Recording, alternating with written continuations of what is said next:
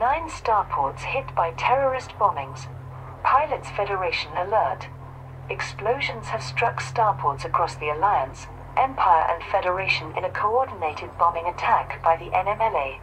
The capital systems of all three superpowers, Achenar, Alioth and Sol, have been targeted by the terrorists, as well as six other high population systems.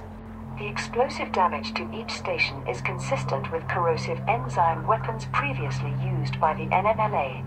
This has triggered automated systems designed to respond to Thargoid assaults. The Alliance Defense Force, Federal Navy, and Imperial Navy are on full alert.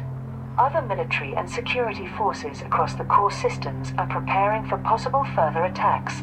The Neo-Marlinist Liberation Army has claimed responsibility for the simultaneous attacks in nine systems, including superpower capitals Achenar, Alioth, and Sol. The following message was broadcast on NMLA propaganda channels. I no longer have a name, nor a family, nor a future, each taken by the Empire.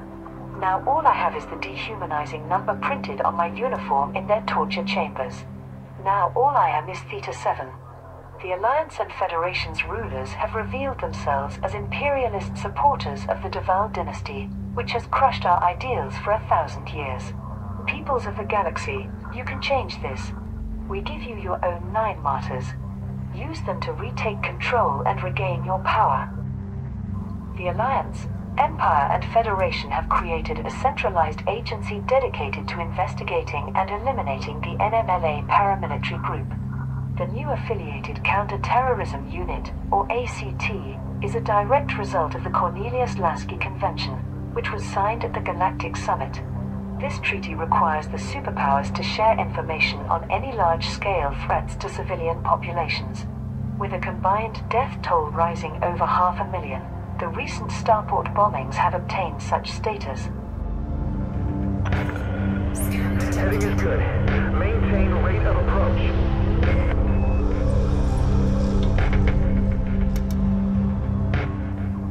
Urgent calls for independent pilots to rescue survivors and support repair operations at all nine locations.